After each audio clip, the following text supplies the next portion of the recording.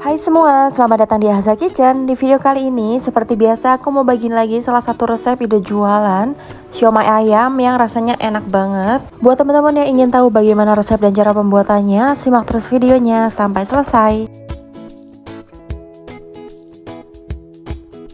Oke langsung aja untuk langkah pertama siapkan 350 gram daging ayam giling boleh paha ataupun dada atau di mix kemudian satu butir putih telur ini aku pakai yang ukuran besar kita ambil putihnya aja ya.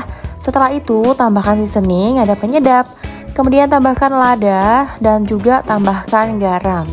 Nah, ini untuk takarannya udah aku tulis di kolom deskripsi di bawah ya. Teman-teman bisa cek di situ. Kalau udah kita aduk sampai tercampur seperti ini. Kalau udah tercampur, tambahkan 70 gram tepung sagu, 30 gram tepung terigu biasa.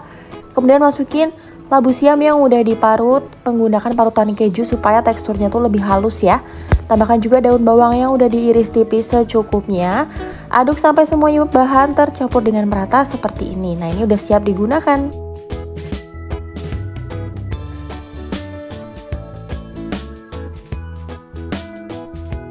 Kemudian langsung aja siapin panci kukusan. Nah, ini aku pakai kukusan yang elektrik. Kita alasi atau oles menggunakan minyak goreng supaya nanti nggak lengket saat dikukus. Kalau udah ambil secukupnya adonan, ini aku cetak menggunakan sendok, kurang lebih untuk per satu siomay itu setengah sendok makan untuk takarannya bisa disesuaikan ya.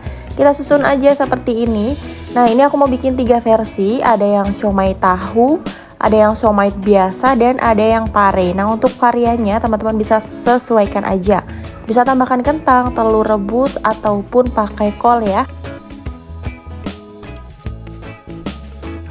Untuk varian parenya, parenya tuh dibersihkan dulu, kemudian dipotong-potong bulat-bulat seperti ini. Nah, untuk ukurannya nih bebas banget. Kalau udah buang isinya, kemudian kita isi dengan adonan siomay ayam yang tadi ya, sesuai selera aja. Lakukan proses yang sama sampai seluruhnya selesai. Kalau udah selesai, langsung aja kita rapikan menggunakan garpu supaya untuk siomaynya ini lebih bertekstur. Kemudian kita isi si panci kukusannya dengan air. Nah ini ada batas maksimalnya jadi kita isi penuh aja. Setelah itu masukkan panci kukusan. Jangan lupa dicolok dikukus sampai matang kurang lebih 20 menit ya.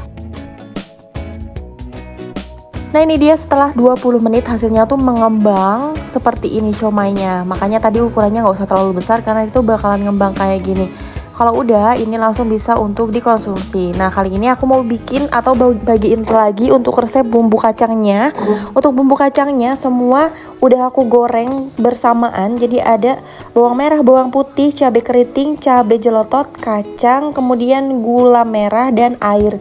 Kita blender sampai teksturnya itu halus banget.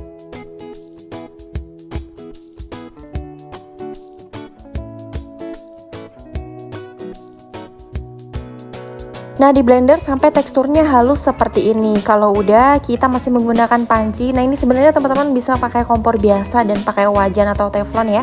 Tambahkan minyak secukupnya Kemudian masukin bumbu yang tadi udah di blender sampai halus seperti ini. Kemudian aduk sampai semuanya tercampur rata Jangan lupa tambahkan seasoning, ada garam, penyedap, tambahkan juga daun jeruk supaya aromanya tuh makin harum. Jangan lupa dikoreksi rasanya. Nah, ini aku tadi kurang manis, jadi aku tambah sedikit kecap manis atau gula merah boleh ya. Dimasak sampai tanak dan rasanya udah pas. Dan ini bumbu kacangnya juga udah matang, siomaynya juga udah matang, semuanya udah bisa disantap. Kalau mau jual teman-teman bisa jual seharga 5000 dapat 4 atau bisa 1500 per biji ya. Rasanya enak banget, bisa untuk ide jualan. Sampai di sini dulu untuk resep kali ini buat teman-teman. Terima kasih sudah nonton videonya. Sampai bertemu di videoku yang berikutnya.